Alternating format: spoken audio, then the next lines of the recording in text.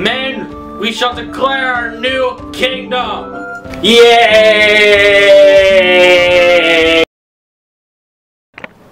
Alright, is only going to hurt a little bit.